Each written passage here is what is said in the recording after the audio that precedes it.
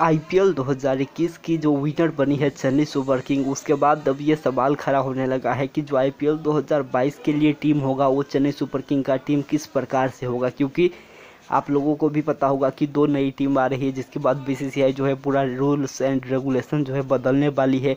और देखना होगा कि कितने रिटेंशन जो है टीम को देती है और राइट टू मैच कार्ड का इस्तेमाल करने का भी जो है वहाँ पर रूल जो लाती है कि नहीं लाती है, ये सबसे बड़ा इंपॉर्टेंट रोल होगा। और आखिरकार कुल मिलाकर के एक टीम कितने प्लेयर्स को रिटेन कर पाएगी, ये सबसे बड़ा सवाल है। और महेंद्र सिंह धोनी ने भी यही कहा था कि जो हमारे आगे की फ्यूचर्स होगी, वो इसी पर डिसाइड होगा कि ये जो बीसीसीआई हो, वो क्या रूल बनाती है, कितने प्लेयर्स को जो है रिटेन करने का मौका देती है। तो कहीं ना कहीं अब पूरा जो ध्यान है और कहीं ना कहीं पूरा जो सोच विचार है, वो इसी पर है कि आखिरकार जो बीसीसीआई हो, क्या रूल्स लाती है? और बीसीसीआई जब रूल्स का ऐलान कर देगी, उसके बाद ही चेन्नई सुपर किंग की जो आगे की फ्यूचर प्लानिंग है, उस पर कोई ठोस निर्णय ले पाएगी। और महेंद्र सिंह धोनी ने, जैसा कि आप लोगों को पता होगा कि जो आईपीएल 2021 की फाइनल मुकाबला हुआ, उसके बाद पोस्ट मैच प्रेजेंटेशन में महेंद्र सिंह धोनी ने कहा कि जो हमारा अभी भी का टीम है, उसमें अगर आप कोर प्लेयर्स को देखोगे तो ये पिछले 10 साल से हमारे साथ जुड़े हुए हैं। यानी कि अभी तक जो सी एस के प्रमुख खिलाड़ी है, वो पिछले दस साल से जुड़े हुए हैं और महेंद्र सिंह धोनी ने बिल्कुल स्पष्ट तौर पर यह कहा कि अब जो नई टीम बनेगी, वो अगले दस साल को मद्देनज़र रखते हुए बनेगी। यानी कि जो अभी टीम में खिलाड़ियों को पिक किया जाएगा, वो कम से कम अगले दस साल तक खेले, दस साल तक के लिए टीम में रहे, उस प्रकार से जो है टीम की चयन होगी। तो कहीं ना कहीं सी के लिए बहुत ही ये महत्वपूर्ण हो जाता है कि अब किन किन खिलाड़ियों को रिटेन करेंगे और किन किन खिलाड़ियों को रिलीज़ करेंगे। अगर हम बात करें भारतीय खिलाड़ियों की तो ऋतुराज गायकवाड़ एक ऐसे खिलाड़ी हो सकता है जिसको डेफिनेटली सी जो है रिटेन करना चाहेंगे। वहीं इसके अलावा अगर हम बात करें तो रविंद्र जडेजा को बिल्कुल ही रिटेन करेंगे, इसमें कोई दो राय नहीं है। लेकिन जो दो खिलाड़ी है, दीपक चहर और शार्दुल ठाकुर, क्या इन दोनों में से किसी एक के साथ जाएँगे?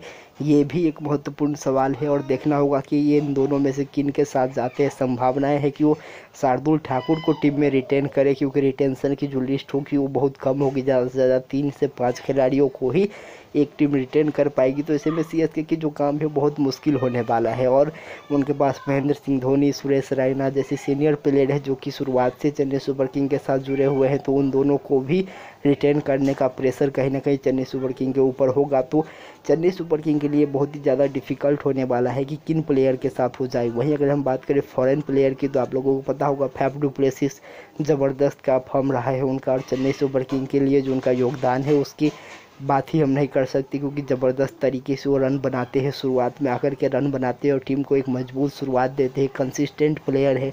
वहीं डीजे बराबर मुश्किल समय में टीम को निकालते हैं। मुश्किल में जब टीम फंस जाती है तो वहाँ से मैच को निकाल करके सी को जीत दिलाते हैं। इसके अलावा अगर हम बात करें तो उनके साथ और भी कुछ जैसे नाम है, जैसे कि मोइन अली हो गए, जैसे कि अगर हम बात करें तो इस लिस्ट में नाम शामिल हो जाएगा। सैम करन की तो कहीं ना कहीं सी के पास ऐसे ऐसे मैच विनर्स है जिसको सी की डेफिनेटली अपनी टीम में बचा के रखना चाहेगी, अपनी टीम में जोड़ के रखना चाहेगी, लेकिन जो ये नया नियम आने वाला है, उसके कारण से बहुत सारे मैच विनर को सी को छोड़ना होगा। तो सी एस के की अगर हम रिटेंशन लिस्ट की बात करें तो ये कहीं ना कहीं बहुत ज़्यादा सोच विचार करके इस पर फैसला लिया जाएगा और आखिरी फैसला तो टीम मैनेजमेंट और महेंद्र सिंह धोनी का ही होगा। और सबसे बड़ा सवाल ये भी है कि क्या अगले सीज़न में महेंद्र सिंह धोनी बतौर प्लेयर चेन्नई सुपर किंग के साथ नज़र आएँगे या फिर बतौर किसी दूसरे रोल में वो चेन्नई सुपर किंग के साथ नज़र आएँगे, क्योंकि महेंद्र सिंह धोनी ने दो बातें साफ़ कर दी है। पहली बात है कि वो चेन्नई सुपर किंग के साथ जुड़े रहेंगे, और दूसरी बात है कि उनके भविष्य क्या है, क्या वो खेलते रहेंगे या फिर टीम मैनेजमेंट के रूप में रहेंगे, ये जो है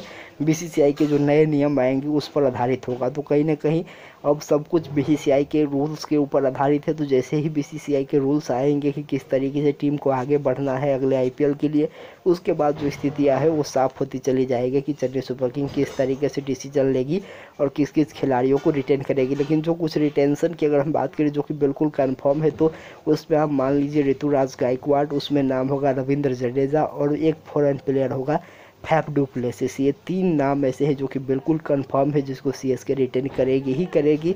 इसके अलावा शार्दुल ठाकुर हो गए डीजे ब्रावो हो गए, ये ऐसे दो नाम हैं जिस पर चेन्नई सुपर किंग विचार करेगी कि उनको किसी भी तरीके से टीम में रखा जाए या फिर ऑक्शन में किसी भी हाल में इनको खरीदना ही है। तो इस प्रकार से सी एस के आगे बढ़ सकती है। हालाँकि आपके हिसाब से कौन से वो तीन नाम है जिसको सी एस के को ज़रूर रिटेन करना चाहिए कमेंट करके ज़रूर बताइएगा। फिर मिलेंगे जैसे ही इससे जुड़ी हुई कोई भी अपडेट आएगी। बने रही हमारे साथ चैनल को ज़रूर सब्सक्राइब कर दे बेल आइकन को ज़रूर प्रेस कर दे वीडियो को ज़्यादा से ज़्यादा लाइक और शेयर ज़रूर करें। नमस्कार, धन्यवाद।